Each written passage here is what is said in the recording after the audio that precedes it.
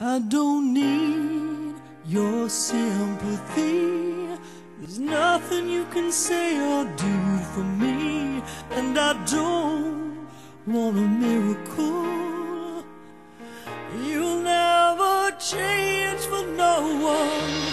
And I hear your reasons why. Where did you sleep last night? And was she was she worth it?